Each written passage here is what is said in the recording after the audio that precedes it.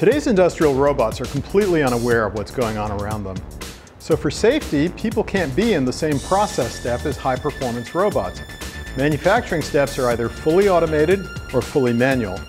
At Veo Robotics, we're breaking this false dichotomy. This is an example of a typical assembly task in a factory. In this case, we're putting doors on a refrigerator. Using the Veo system, it's possible for a person and a robot to work together to get this job done in a very straightforward manner. Since we're monitoring the entire 3D area in high resolution, it's not even necessary for an entire person to get near the robot. It's enough to just hold out your hand. On the screen over here, you can see the red line that represents the shortest distance between any point on the robot and any object in the environment.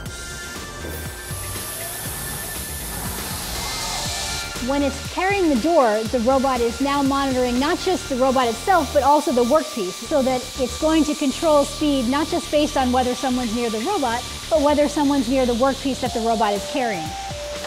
Once the robot is holding the door in place, the person can come in and do the parts of the task that require human dexterity.